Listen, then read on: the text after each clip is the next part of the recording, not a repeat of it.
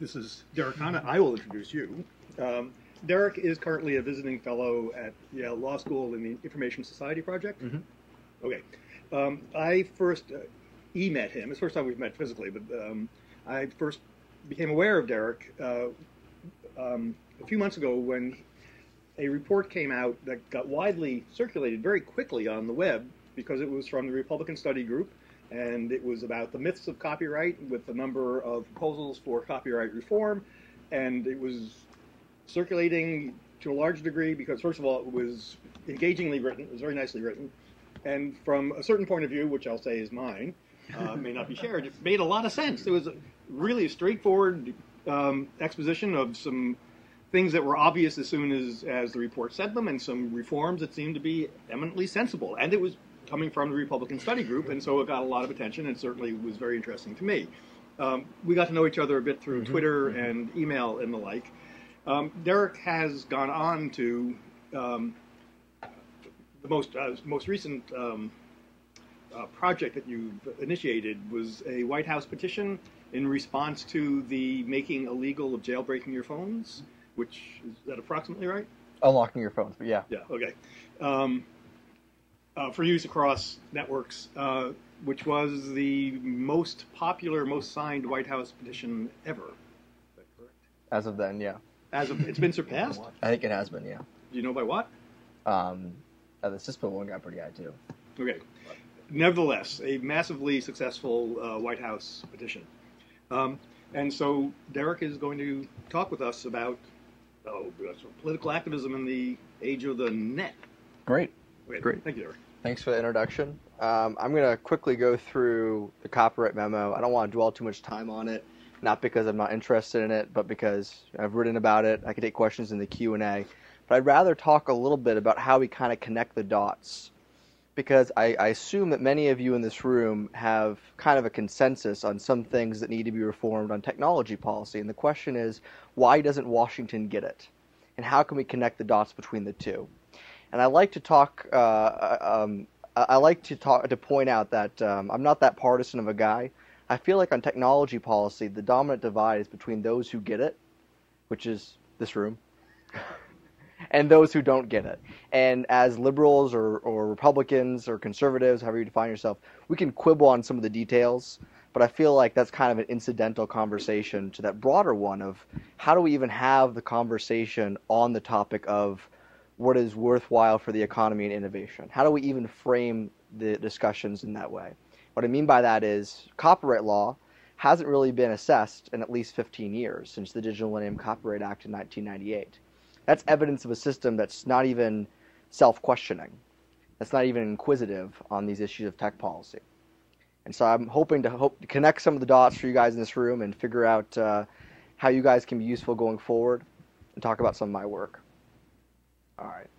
Disruptive innovation, you guys all know that term. This is Harvard, the university that con or Clay uh, uh, Christensen conned that term. Um, you guys are the first ones, by the way, that I've used a PowerPoint presentation on, so you're kind of the guinea pig. And I'm not so good at it. All right. Um, my backstory I'm a Massachusetts guy, worked for Governor Romney, worked for Senator Scott Brown's campaign, came up with Senator Scott Brown, went to Washington, D.C., worked for Senator Scott Brown during SOPA, and then went over to the House Republican Study Committee. Now, as far as my conversation today, I'm trying to loosely frame it around three key rules that I see as key rules for activism in the technology realm. Number one, being right is just part of the battle. So we can all agree in this room that the right way to proceed on copyright is X, but being right is not inherently enough to win the political battle.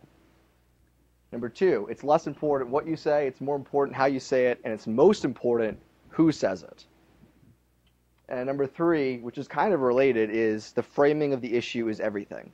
Now, what do I mean by framing? I'm going to get to that a little bit later, but it's basically how you present and conceive of the issue in general.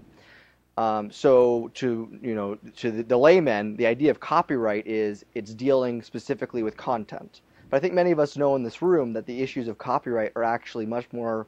They, they, touch a number of other issues, and so our intellectual framing of an issue like copyright is very detached from the intellectual framing on Capitol Hill. And so that framing is really critical in how SOPA was won and how future battles will be won and lost. So starting out on SOPA. Um, so that quote is from Adam Green. He says, "It's not a battle of left versus right. Frankly, it's a battle of old versus new," which is a similar point to what I'm saying before. Those who get it and those who don't get it. Um, just pointing out how dramatic of a incident SOPA was for someone who worked on Capitol Hill at the time. Is there was you know enormous energy behind this. For weeks we had seen uh, you know, the, the, the danger clouds growing, but the amount of money that was in favor of SOPA was quite overwhelming. And they had been lobbying on this for about three years. And I remember telling all my friends about how terrible this bill was back when it was COICA. And it just seemed like there was no opposition at all.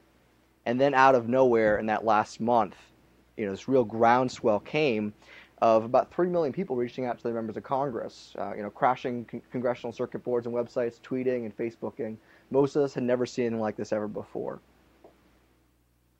The big thing for me was not only did, did members come out against this bill, that happens all the time, but members who had come out and were co sponsoring the bill decided that they were now against their own legislation. That's never happened before, to my knowledge, and it was quite astounding. Now, I was very pleased that Senator Scott Brown actually came out against SOPA. He had never co sponsored SOPA. Uh, and there were many members like Senator Scott Brown, but uh, uh, something like 40 or 50 members had actually co-sponsored and actually reversed their decisions. And I wanted to briefly uh, give my perspective on the real story of SOPA. I think there's been a kind of revisionist history in the past year to say that SOPA was a battle of, you know, it was Google. It was Google and Wikipedia and some other big companies that came in and killed SOPA. If you ask anyone who worked on Capitol Hill, they'll tell you the real story. And the real story is 3 million people reached out to the member of Congress and killed this. And it was people like Elizabeth Stark, Alexis Ohanian, Aaron Swartz, and it was other people who were on the ground in Washington D.C. who understood the process a little bit, a little bit better, but didn't have the technology credentials and helped connect the dots between the two. And that's really what helped, you know, change this movement. Uh, I think that, that this revisionist story is a is a uh, worthwhile one, both for Google but also for the Chamber of Commerce, RIAA, and MPAA. They don't want to admit that they lost to average people. It's much better for them to say we lost to Google I think that will help you keep your job.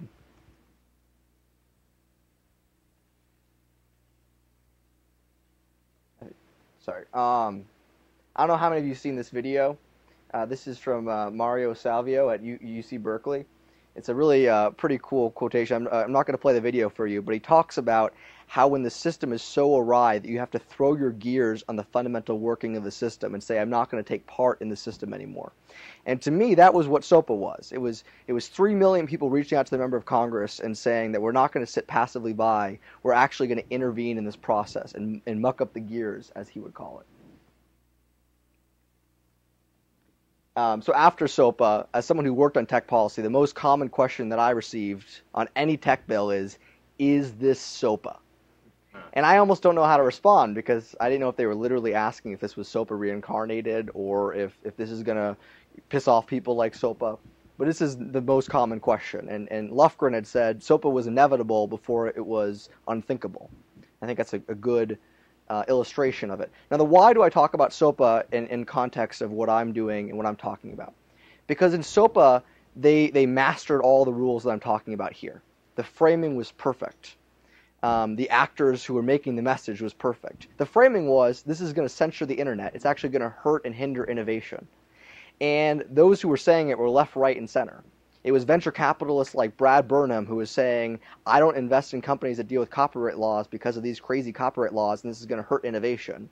And it was guys like Alexis Ohanian who was saying, my website Reddit won't be able to function anymore in this world. Or Ben Huh saying cheeseburgers won't be able to function in this world. And so it was this really united movement that had kind of the talking points of the left and the right. And now linking to my memo. Um, so that's me, uh, my boss, Jim Jordan. Uh, so I was always interested in tech policy and copyright law in particular. And so we reached out to all of our members of Congress trying to figure out who wanted to work on copyright law. No one responded. I was told to write a report on copyright law. And the way I started was this fundamental reframing of the issue, what became the three myths.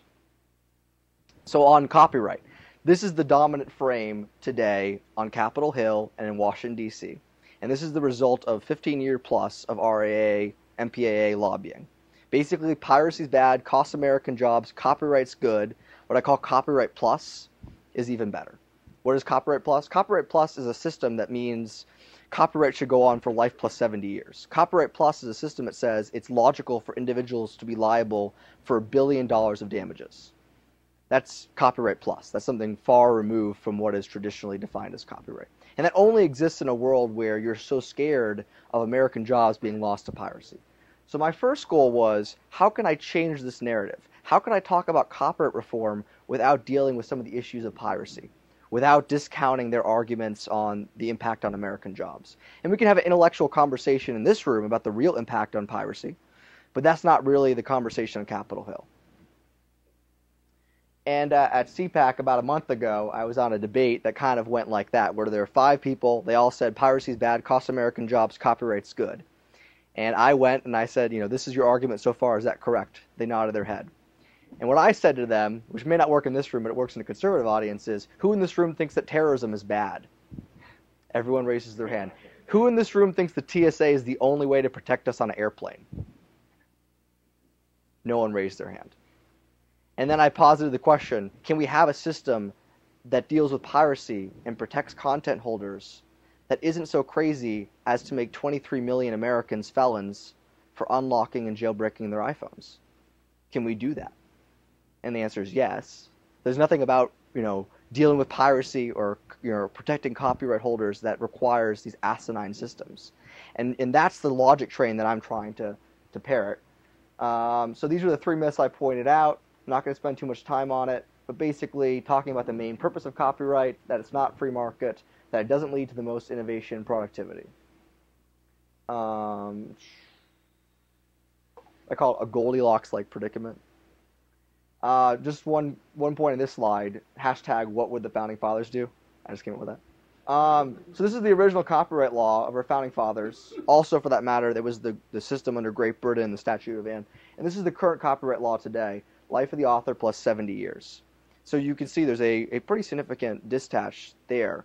And I think that the, that the, the liberal response to this is that doesn't seem fair. That's hurting the consumer. I think the Republican conservative response to this is wait, the, the above is what the founding fathers wanted, and that's kind of consistent with the Constitution, and the bottom is wildly divergent from what the Constitution actually says. I think it's important to try to frame these issues in both left and right polarity. Um, and these are the policy solutions I talked about. Um, I could talk about these in the Q&A, but I don't think it's that radical here. Um, and after the memo came out, we got overwhelming support from conservative groups on the right. American Conservative Union's up there. You may you may not know about it, but they're the ones who put on CPAC. They represent every conservative organization in Washington D.C. They came out, put on the front page, and endorsed it. And um, so we were actually very surprised by the amount of support that we got from conservative circles. Um, so why did I take on copyright? I think we need creative destruction of failed ideas. I think this leads to more innovation. Um, did we, did we skip a? Oh, there. This is an important one. So, the memo was officially written, officially approved. It went through all the normal processes, and uh, we expected it to be very controversial, um, but we thought it was an important thing to put out nonetheless. And the point of the memo, again, was to try to reframe the debate because none of those things were dealing with the issues of piracy. They were saying that we can have a different, more rational system that protects copyright. All right, so memo comes out. Memo gets pulled in 24 hours. Two weeks later, I'm told that I'm out of a job. So January 6th is my last day at work. And my question was, you know, what can I do from here going forward to kind of connect the dots? To learn from what people on the outside did during SOPA and what I knew on the inside through the copyright memo and try to leverage it going forward. Because it's one thing when you're on the inside to go for the big play.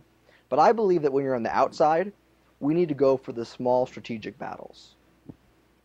So I wrote about it in Boing Boing. I said SOPA was impressive, but stopping legislation is one thing. Actually putting new legislation on the table and actually utilizing the mechanisms that are designed for failure, that's another that's another level of expertise. And that requires you to learn the the rules of Washington D.C. Uh, while those in this room and across the country in the tech community may not want to be playing by the exact same parameters, you have to understand how DC operates and then attempt to hack that process. So understand how it works. We don't have to do the exact same thing that the content industry does, but just understand how they work. And a key case in point is a few weeks ago, the head of the Copyright Office uh, testified in the Judiciary Committee actually endorsed many of the reforms that I talked about, things like lowering the length of copyright, calling for a, a, a great new Copyright Act, uh, updating copyright for the digital generation. Before she testified, the day before, the content industry published an editorial and roll call, again making this argument. Um, copyright law has copyright has led to this massive innovation in the United States. It's one of the great U.S. exports. Why would we want to tamper with it and change it? That's not being done by the other side. There was one editorial and roll call. There was no countering editorial and roll call, and that's because the RIAA and the MPA are there on the ground. They know how to utilize the process. They know that roll call is read by every member of Congress and their staff. And we need to have that level of expertise and understanding the internal workings of Congress if we want to fix Congress.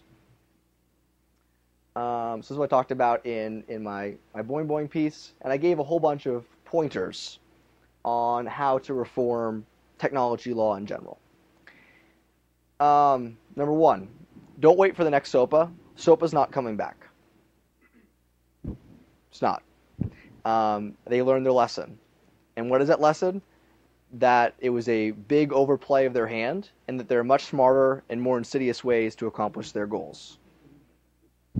What, what do I mean by that? Okay, so one of the worst provisions of SOPA was deal was taking down these rogue websites specifically taking it down for American citizens, but taking down these rogue websites. They've been able to do most of that through ICE, Immigration Custom Enforcement, as some of you in this room obviously know. Hundreds of websites, even Megaupload was taken down the week after SOPA. Um, the other part of SOPA that was pretty pretty uh, significant was payment processing, getting Mastercard and Visa to shut off funding for Pirate Bay. Um, they were able to accomplish that without legislation. Uh, and the third part is getting um, you know Google and other websites to take down uh, links to torrents and other pirating, infringing content. Um, they were also able to accomplish that. So in a world where they've accomplished those three main goals, why would they try to come up with the next SOPA? That's probably not their design plan. Instead, they're trying to utilize our international trade agreements to lock in intellectual property law going forward which is what they've been successful in doing. The past 12 intellectual uh, um, uh, international treaties include stock language that basically codifies the Digital Millennium Copyright Act forever. Now that's a big problem because the Digital Millennium Copyright Act is domestic law, and it should actually, you know, intellectual property law should change as the economy changes. Um, but they were very smart to the point where today this is just stock language that you put in any treaty, and it's going to be in the digi- the uh, Trans-Pacific Partnership Treaty um, and then and then some. It's it's rumored that the Trans-Pacific Partnership Treaty is going to include Life Plus 70, which is a further uh, ramping up of the international treaty system. So if you can do these things through treaty, through the back door, in a way that the American citizens are not really aware of, and in a way that only requires approval from the Senate, or if you're really smart, you do it as an executive agreement, which is the same thing as a treaty, except it doesn't require approval, which is what ACTA was. Um, then you can avoid ever dealing with the SOPA problem ever again. I say that not to dis- disenchant you guys who are waiting on the sidelines for the next SOPA, but to say that we have to be more activist rather than passive if we actually want to help solve the problem. Um, we need to analyze existing law. Uh, before SOPA, there was the DMCA, and the DMCA was extremely controversial when it passed. Um, there are many provisions in the DMCA that are just as odious or nearly just as odious as SOPA is.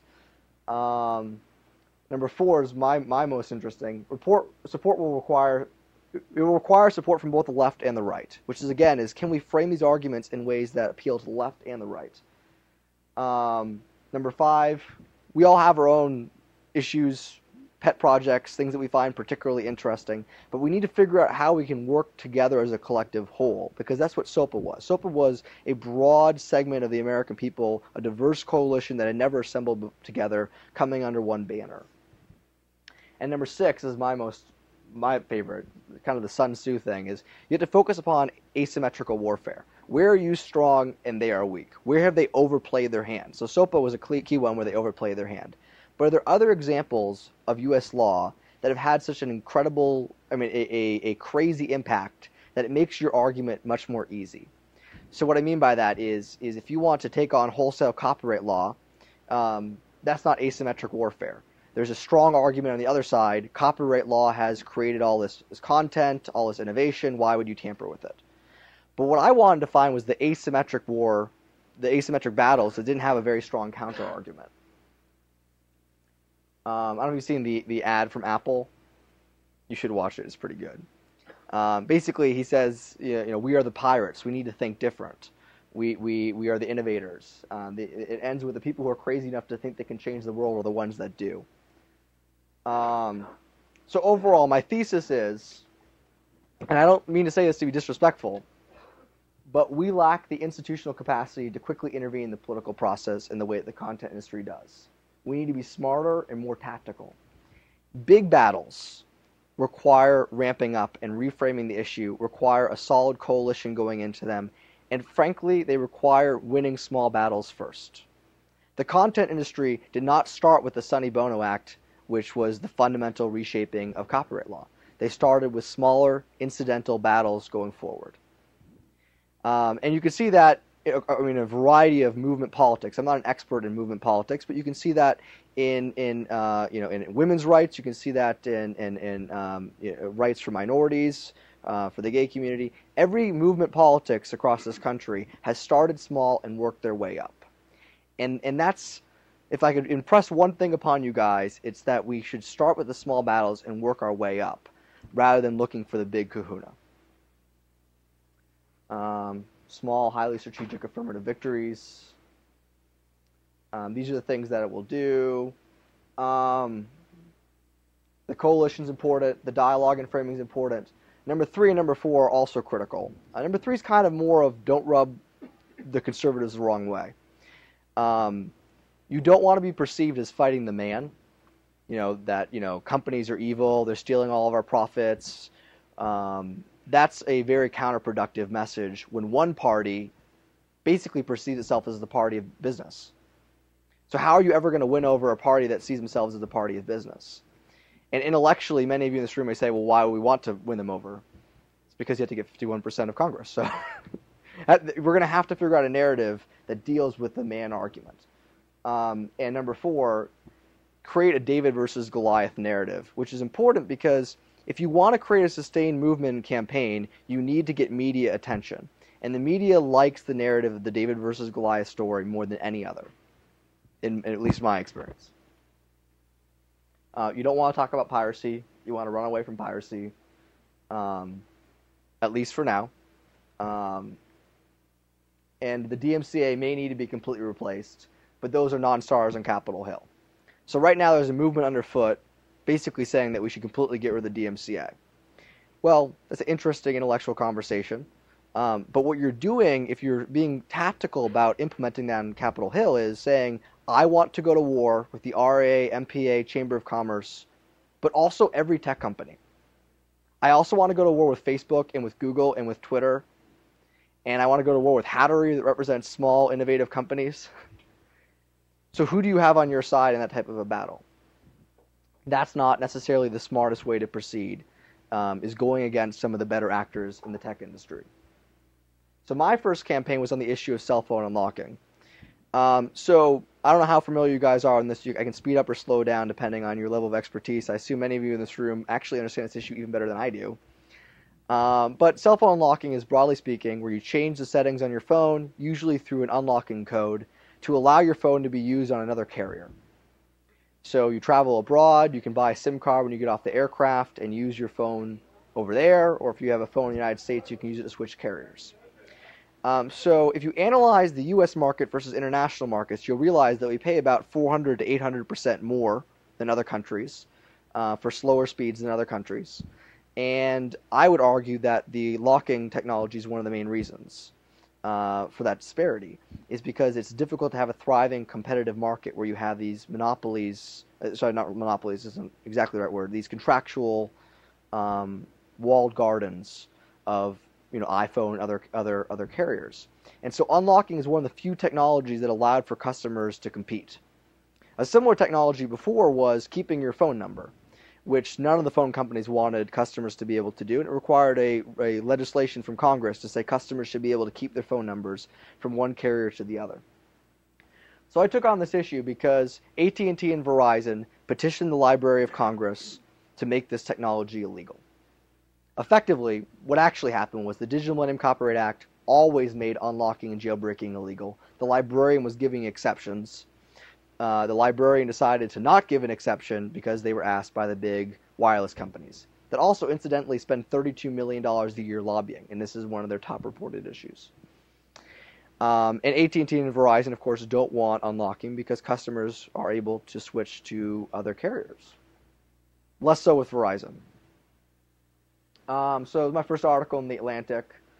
Um, I thought the above was a little bit funny. Um, I'm pro-choice with regard to my smartphone. I hope my congressman is as well. That actually was too controversial. They actually took they got rid of that line. It was censored by the Atlantic. Um, so the other things I point out in the article is um, technology for the blind also has to get approval every three years. You know, can you imagine a more onerous regulation than one that requires the Association for the Blind to petition every three years? It, it doesn't make any sense. And the idea that Americans can be liable for five years in prison for this is a crazy and stark example of how much the copyright system has been abused. And that was one of the reasons I focused on this issue. Uh, and I talked about, um, you know, over federal overcriminalization.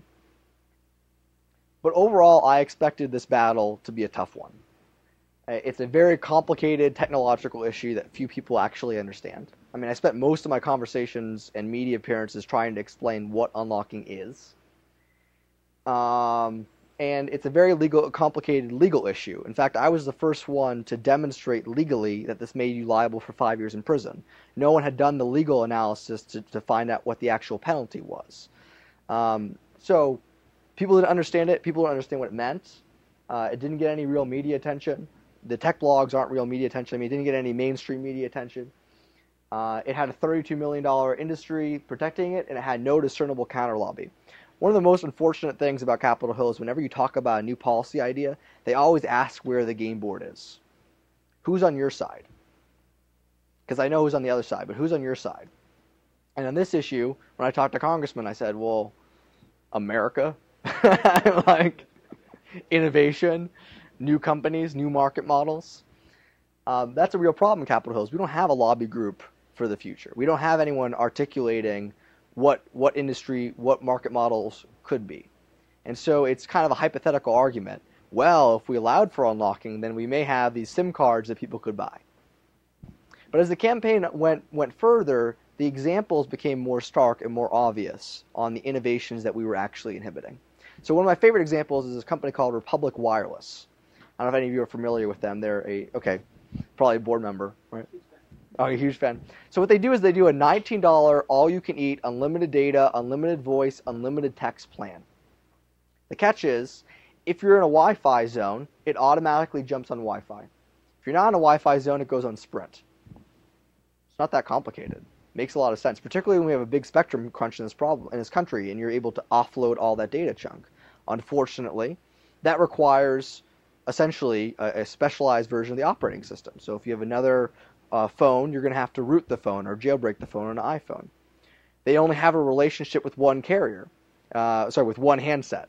And frankly, it's kind of a crummy phone.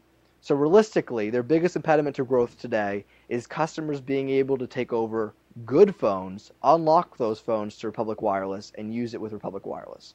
And in a world where phones are quickly becoming commodities, and we can disagree on that, but broadly speaking, I think that phones are becoming commodities.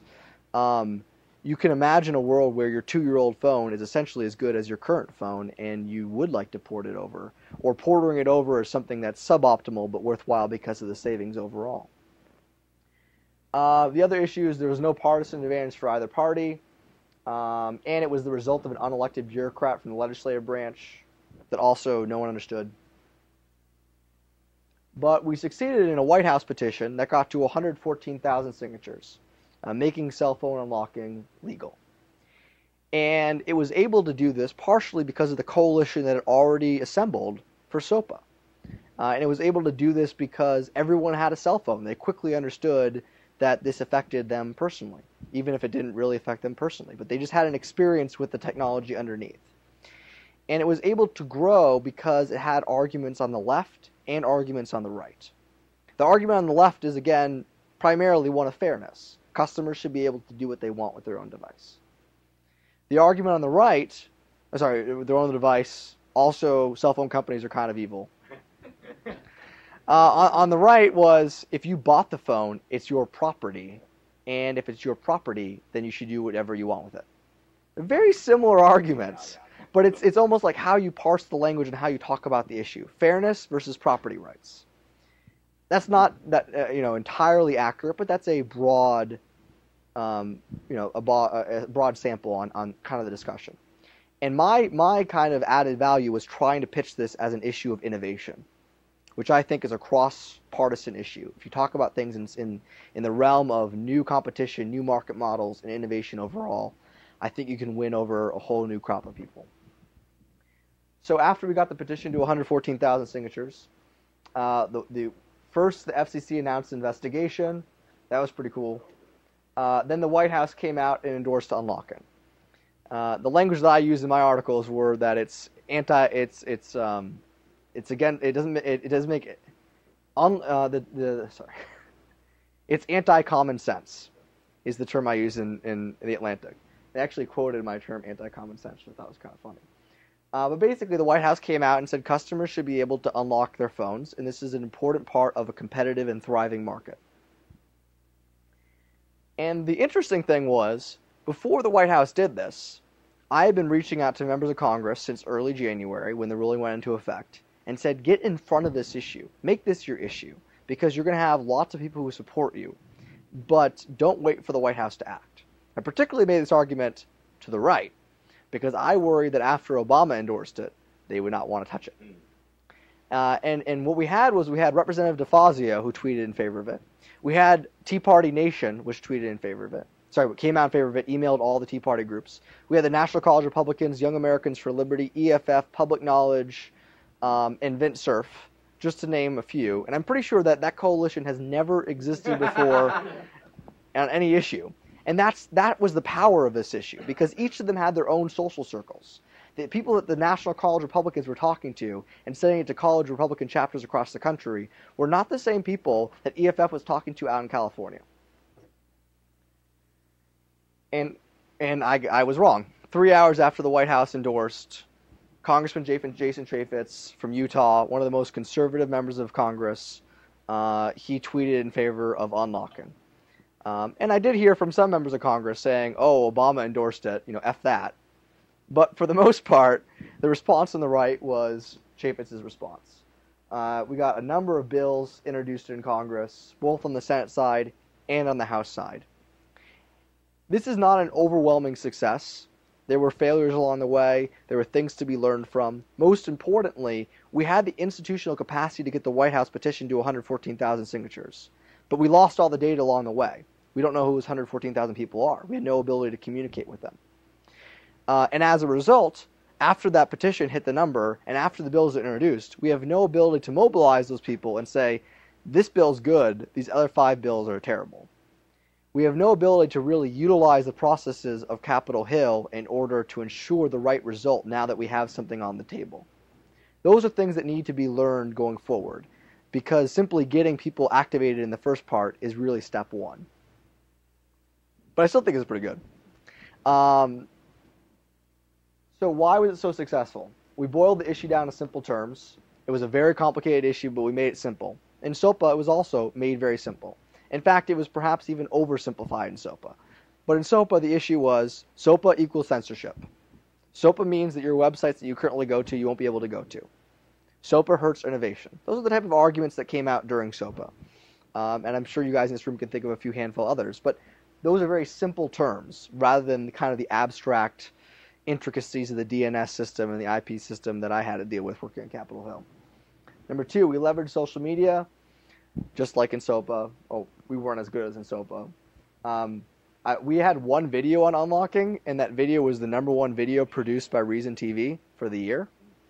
Um, we would have liked to have had more video content. We didn't have that capacity, but it shows that video is much more um, engaging than other forms of, of media. We had a diverse coalition. We eventually gained mainstream credibility we were emailing reporters left and right, and no one cared about the story. And we couldn't get anyone's attention.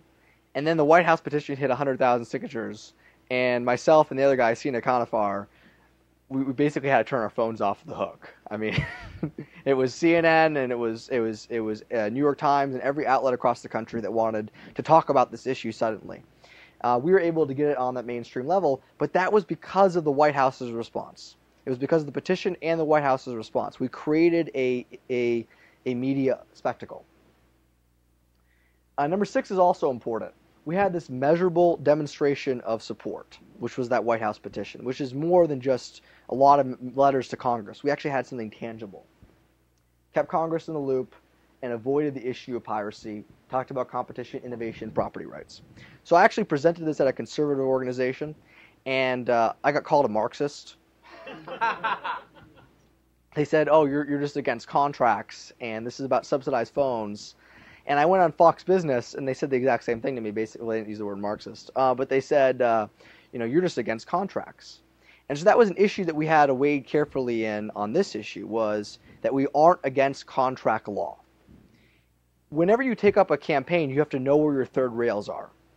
On this issue, we knew our third rails was subsidized phones and contract law. And our response was that that's between you and your carrier, but the federal government should not be arresting people for violating their contracts. You know, you're not arrested for violating your contract on your lease or on your mortgage. We deal with those through civil penalties and through contract law. I mention that because these are issues that you're going to encounter going forward on CISPA or on um, you know, CFAA reform or any of these other issues. You have to know where your third rails are and how to navigate them properly. Um, these are other reasons why it was it was successful. It's very unfair. We dealt with the contract law argument through math and logic. um, talked about innovation. Um, now, this is kind of the why. Why did I talk about this issue? It was more than just that it affected 23 million Americans.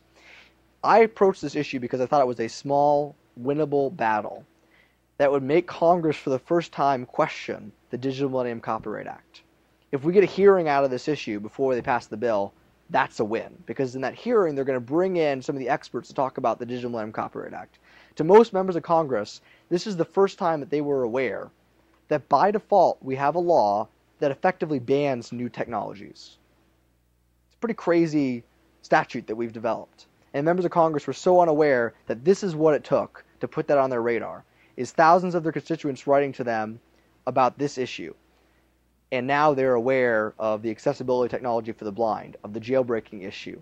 Some of them are aware of the issues relating to cryptography research. Um, Number four, the biggest impediment to fixing this problem is international treaties, which again is the backdoor of the content industry. And I wanted this issue to put that front and center because I knew that conservatives, in particular, who are naturally skeptical of international law and treaties, once they learn more about this issue, would start to question the TPP treaty, want to have oversight hearings of the TPP treaty, saying we've already locked ourselves in these intellectual property laws going forward. What are we locking ourselves in with this new treaty?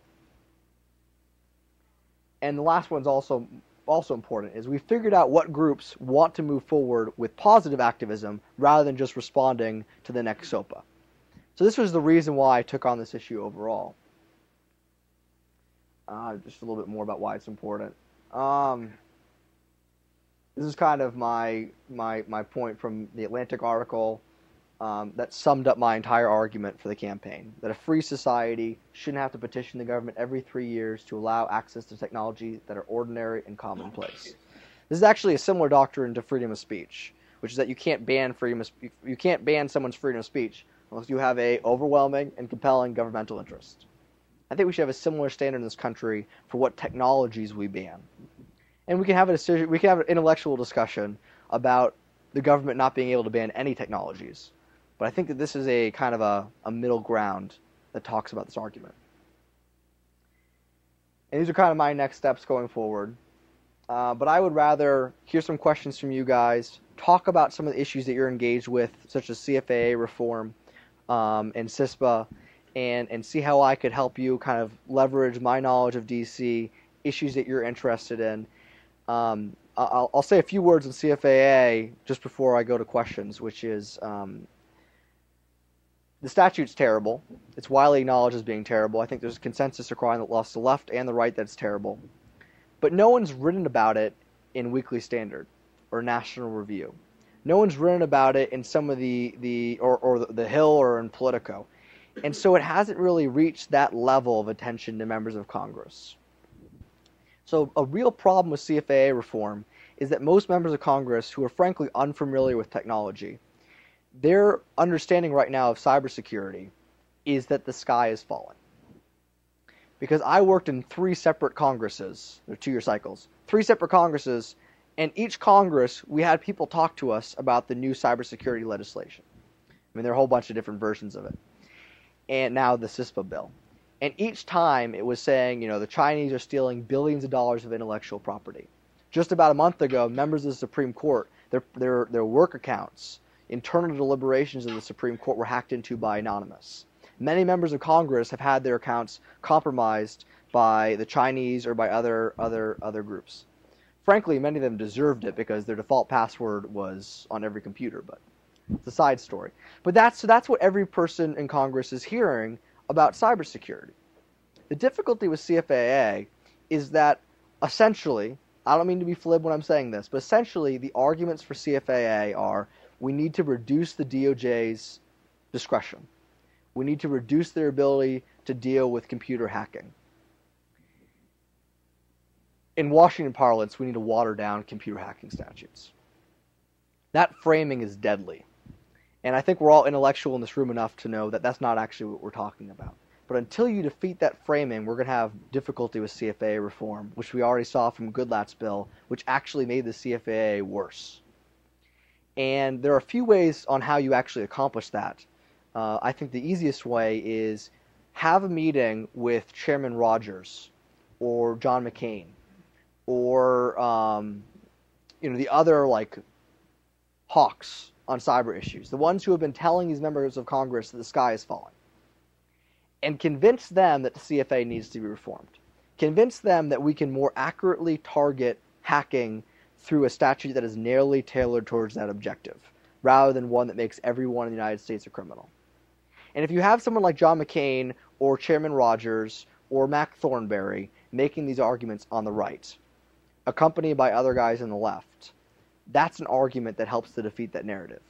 Because if it's Chairman Rogers, the chair of the Intel Committee, who's saying that this is actually going to help us deal with computer hacking, then it's not watering down computer hacking statutes.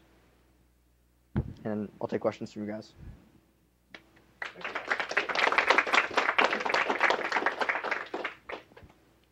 I wanted to explore to what extent trying to fracture the opposition is a valid strategy. I mean, you know, MPAA and RIAA would like to like to make everybody think they represent the entire content creation industry Yeah. in the U.S., but I'm sure they don't. There's plenty of people who are content creators who agree with you and not with them. Same with same with cell phone companies. I mean, Verizon, AT&T may want to prohibit unlocking, but I bet every second and third tier uh, cell carrier below them is in favor of it. So to what extent can you drive a wedge into the opposition? That, that's exactly right. When you find those actors, put it in your back pocket. Um, I was at the Consumer Electronics Show. I was on the stage with Hank with Public Enemy, and he was right next to me talking about my arguments as being pro artist. Um, I can say all day that my position's pro artist. Having a actual artist say that these positions are pro artist is much better than me saying it. You're absolutely right. The RA's policies do not foster new innovation in the music industry or in the movie industry. They do not actually help their own clients because they're in favor of their biggest clients over their new clients. Um, and on the issue of the unlocking, um, there are over 100 wireless carriers in this country, and we were able to get, I think, it's 100 of them on our side, leaving AT&T and Verizon on the other side, which which carefully wedged the issue as the big companies versus all the innovative companies or small businesses. So you're you're absolutely right. So, um, at the beginning, you sort of framed this as, you know, people who understand technology, you know, seem to get it and uh, and come out with, you know, Maybe it's just self-referential, but well, and, and and so so I mean, I guess that that that kind of framing uh, is perhaps a um, sort of an optimistic framing Mhm. that uh, suggests that if we can educate people, that then uh, they might take more uh, common sense approaches to dealing with technology on the legislative end. So I yes, guess yes and no, because if you're ignorant on Capitol Hill, that means that you listen to people that you trust. And unfortunately, the MPA and RAA and Chamber of Commerce are the ones that people on Capitol Hill trust on content industry issue, content issues. So that ignorance means that they're not going to question that that logic. But I guess I want to push a little more cynically to say, you know, what's your sense about people on Capitol Hill who, regardless of whether they're ignorant or not, that even if they were educated and understood exactly what the technology, uh, how it works Mhm. and what it means, uh, that ultimately what they care about is that the RIAA and MPAA uh, know people who can give them money and uh, and ultimately that's what's important is the re-election cycle and ultimately getting the technology right or wrong is less important than ensuring that your coffers are. Well, I, I didn't mean to imply that everyone on Capitol Hill is ignorant. There's many many members of Congress who get it, and there are some members of Congress who get it and do exactly what you're saying. Um, so Marsha Blackburn comes to mind. She's from Nashville, Tennessee. I'm sure she understands the issues. Um, she's on the, on the other side of the issues. Um, she called my paper radical. Um, that's her perspective. Um, so there are people on the other side who, who do get the issues, but for the most part, you have Zoe Lofgren, Jared Polis, Darrell Issa, uh, uh, uh, Chaffetz, Senator Moran, uh, Senator Wyden.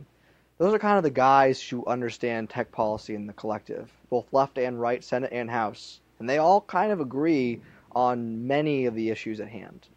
Um, so I think that there is some some issues as far as that coffers argument goes, uh, and, and campaign funding, but that doesn't explain why on the right Republicans support these policies, because the MPA, RAA, Hollywood is very very left leaning. So if it's what you're saying, then why are Republicans um, against it? So I think the story is a little bit more complicated. Um, I don't know enough about left politics that may explain why some Democrats are the way they are. I just know from my perspective, it doesn't explain why Republicans are the way they are. That's the last I've heard. I've uh, been working with their office, talking with their office, and I've last I've heard is they're planning on introducing a bill. Um, why is the RIA and the MPA so politically powerful? I mean, I've heard a lot of arguments saying, look, you know, the tech companies in terms of market capitalization are so much larger. You know, they're like, well, Google and Apple probably each have enough cash on hand to buy the entire recording industry, but they don't seem to have the political power. Is this just your lack of experience? Um, so I'm not an expert on this. There's people who know these issues better. Uh, but AT&T and Verizon are both the top 10 lobbying companies in the United States. They spend 32 million dollars. Um, if I remember correctly, Google spends six million dollars. Google is the number two biggest country company in the United States, right? Or up there, depending on how you rank it and see who's paying what taxes offshore. They're a big company. Um, AT&T and Verizon are not nearly as big. Um, so it's it define it, it, it's where you place your priorities, right? And no tech company really had a DC presence until Microsoft. Uh, when Microsoft was about to be broken up, they suddenly decided that they needed to invest in lobbyists. Uh, and they stayed in DC. Um, and since then, other companies have also done so. But none of them have really done so to the extent that Microsoft has. So I would argue that in general, tech companies do not spend uh, comparable resources to the content industry or anywhere near close particularly given their overwhelming size. So either either in dollars to dollars or in percentages. So if Silicon Valley really decided that's what they wanted to do, they could do so. The other problem is that what you find is a lot of these tech companies, because they know that they're new to the game, they're very careful in the battles that they wage. So if you're a tech company and you figured your way through patent law, why would you want to reform patent law?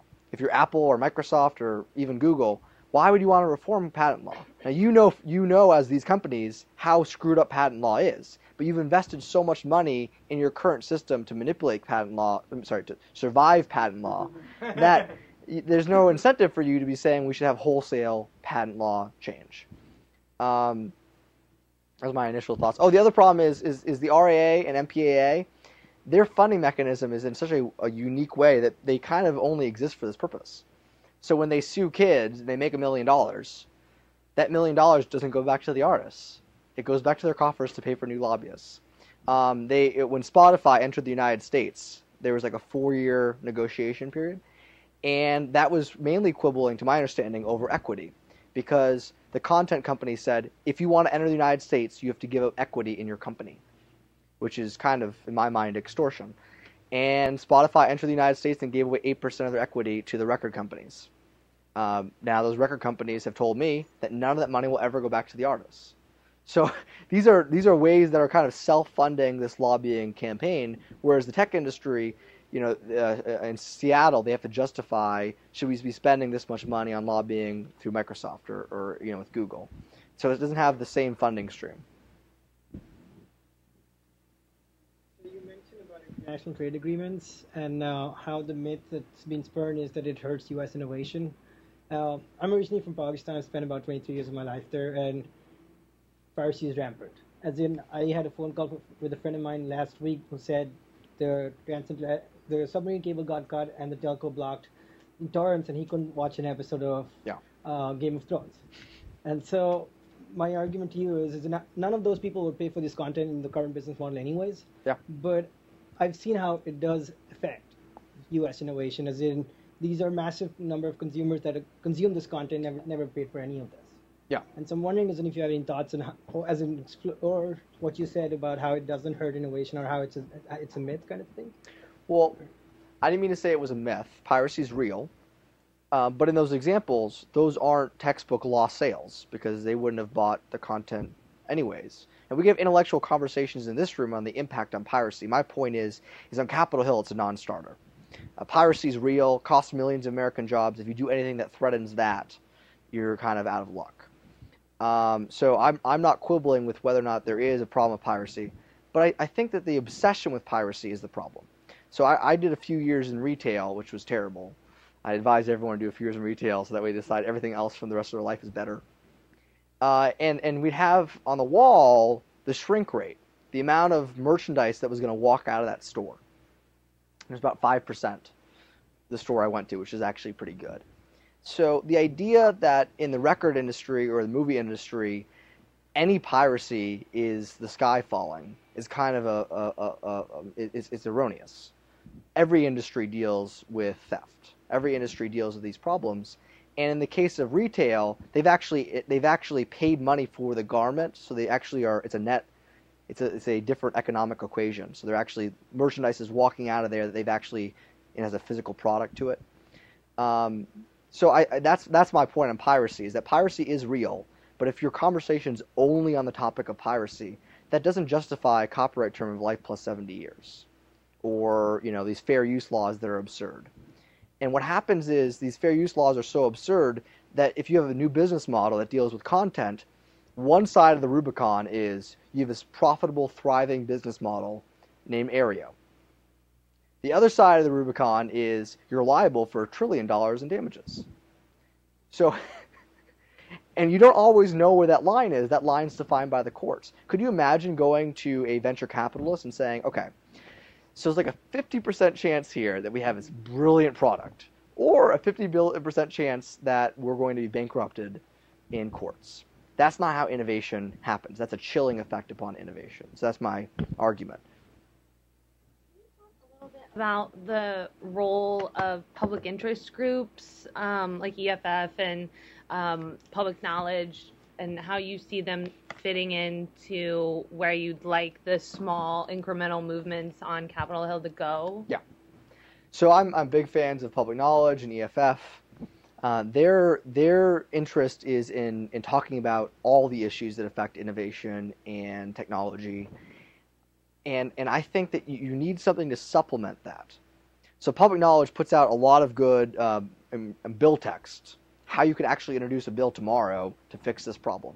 That's awesome. Um, but we need something more strategic to be taking some of the activists and the players already out there in the community to engage through the kind of lobbying processes. Um, I say lobbying with tongue, you know, with because I don't I don't like lobbying. I think that there's lobbying 2.0 that you can utilize here. But I don't think EFF has done some of that. Um, but there's other organizations and people that can mount these kind of grassroots campaigns on these niche issues. That, what? iFixit. mobilizing hundreds of thousands of service techs on these kinds of issues. And we can talk jobs in every area. I mean, uh-huh. there's lots of jobs out there for people that are unlocking phones. You got ReCellular in Ann Arbor, Michigan, unlocking five million cell phones a year. I mean, they employ hundreds of people. It's, it's very easy to local level look at look at the jobs on the local level and then build it up. Cool. A more um, generic or strategic question. We've been talking a lot about McAfee and framing, and I completely agree with you. It's super important. But you were mentioning how critical it was for the cell phone movement that you got to that sort of visually magic number on the petition, Mhm. and then all of a sudden the media wanted to talk to you, et cetera, Yep. et cetera. And that makes sense. What I'm wondering is, seen in conjunction with the Sun Tzuian, let's accumulate a series of small winnable victories rather than going for the grandstand play. Yep. Are you going to run into a sort of what have you done for me lately thing? Like, let's say that the next thing, Yeah. whatever it is, you get to 100,000, like, well, 100,000, we've seen that before. Like, if you want, if you want to take our calls, oh, excuse me, receive our calls this time, it needs to be 150,000. And then the next time it needs to be two, et cetera. And so Mhm. you, you ha- will you have to keep winning bigger and bigger, or can you exist at this level for a while, subtly building support? I think you can exist at this level for a while, although there were some other petitions that happened after us, such as on CISPA. Um, but you have to be very strategic. So on the accessibility stuff, um, if we mount a campaign like this on accessibility, there are natural allies to utilize in that battle. Um, the Association for the Blind and Associations for the Deaf are you know just natural allies. Um, and if you hit that 100,000 barometer on that, and the White House has to weigh in about why we're denying uh, persons who are blind and deaf technology that can help them. Um, I mean, good luck to them. and uh, you know, if if we're very lucky, we get a hearing on that issue. And so I feel like there's ways to the, to, to continue on some of these small issues if you're strategic about it. Um, but then, yeah, you are going to have to move up to some bigger bigger battles. I mean, you want to take on CFAA reform. That's a big battle. That could be a year or two year or five year battle. Um, but I think this is going to be, you know, step one in a longer term process on that road. about multi-stakeholder uh, relationships in terms of the U.S. When it, when they went for WCIT, they advocated for this, but domestically, it's been very difficult to form. And so, like the CCI for copyright has a multi-stakeholder relationship, and uh, with the MPA and the ISPs, there's also uh, Gigi Sohn's in, in part of it from public knowledge and stuff like that. How, how, what the importance of such a relationship is, or what your thoughts are on it. I know Gigi pretty well. Um, yeah, I mean, the, the, you need to have as many allies in the community as possible, uh, and and gain from their expertise. So Gigi's been doing this a lot longer than I have. Um, there's you know technology legal scholars who know these issues better than I do, um, but you need people who can kind of connect the dots too. Um, so again, on the, the, the the unlocking issue, I feel like one of my added values was demonstrating that this make you liable for five years in prison. That required a added level of legal analysis um, that I was able to accomplish because of the multi stakeholders, because I knew other people who could confirm my analysis and could say, if I got challenged on it, I could point to a Harvard professor, a Yale law professor, a Stanford professor, and a few other professors to say, like, don't take my word for it. We have all these other people in the community. So I think that, that there's rules for all these different different. Um, did that answer your question? So my, my point was that instead of fighting all these big people and raising, uh, being on one Oh, side rather than working them? with them, and then finding a better way to move forward, because like Gigi's working Yeah. with AT&T, Verizon, and the MPA, Yeah. and representing a really good front for the consumers. I think that there are times where you can work with them. Um, so an issue that's near and dear to my heart is the issue of Alien Works. Um, I don't know how familiar all of you guys are with Alien Works, but essentially, when copyright, there was a period of time where these copyrighted goods went in the public domain. And then the Sonny Bono Act, they decided to take those goods in the public domain and put them back under copyright. And as a result of that, but also other issues, but prim- but a large part of that, we don't know who their descendants are today who should inherit those royalties.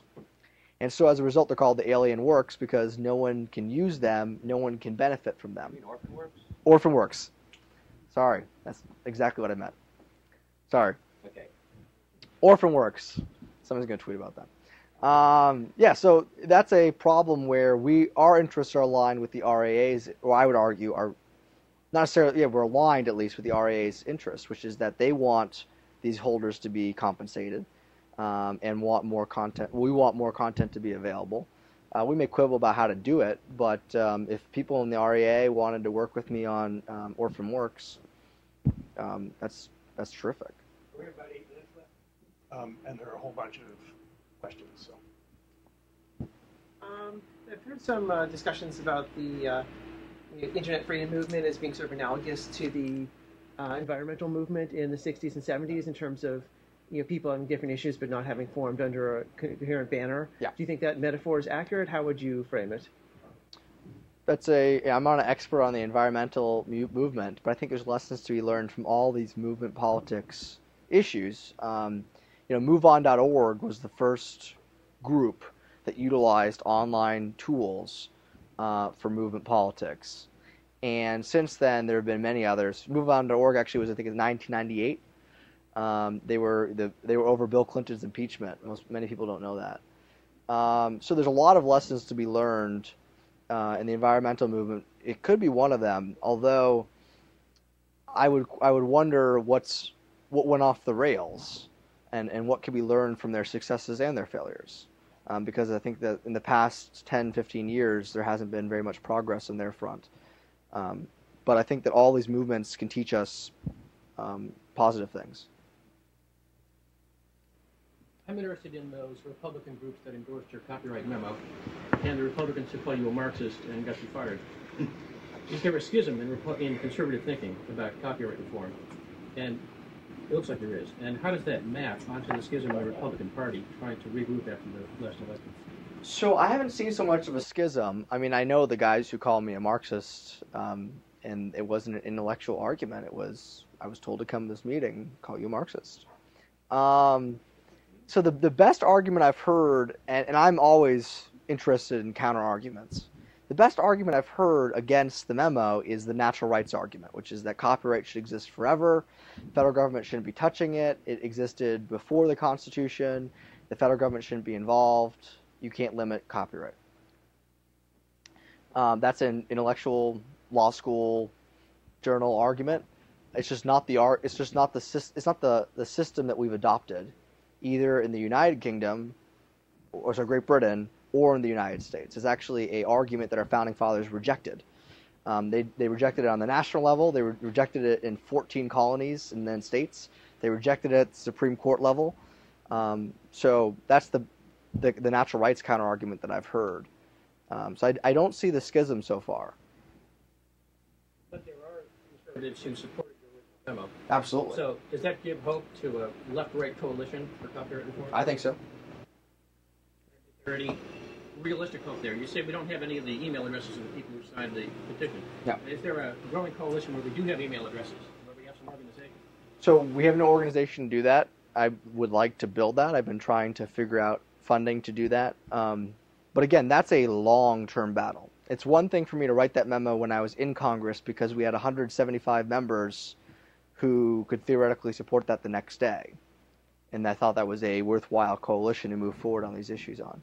But out of Congress, that's a longer term battle, and that's going to require developing the apparatus on, because you're talking about uh, many billion dollars of assets at stake.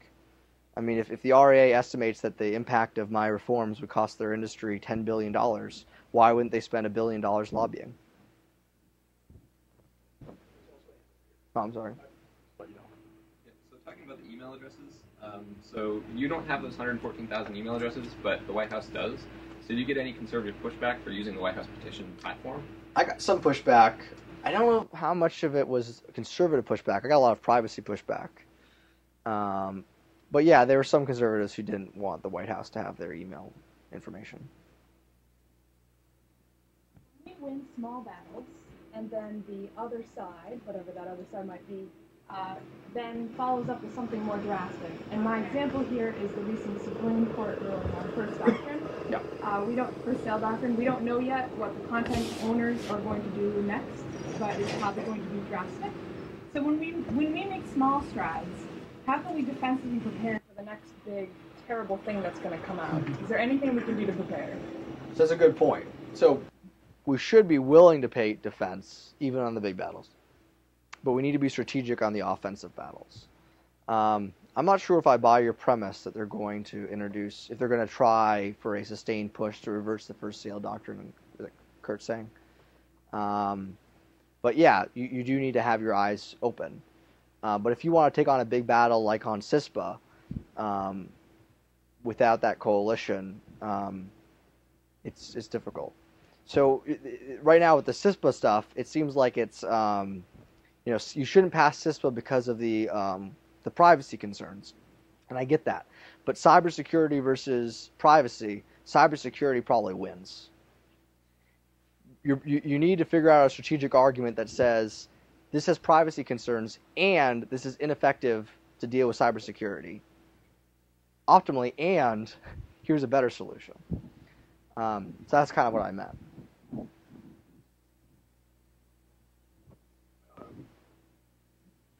What would you have us do in the short term? Do you have anything in, any anything in particular that we can engage in or um, push forward? Sure. I mean, so my, my short term goals are I want to figure out what actors who rose up during SOPA would like to be part of a new moving coalition going forward to fight on these small scale battles.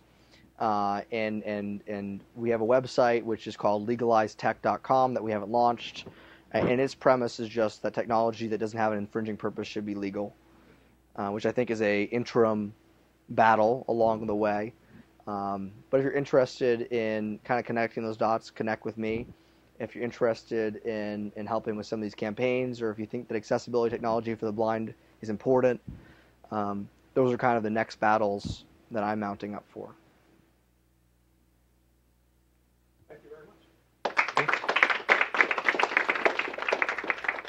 You much. Food.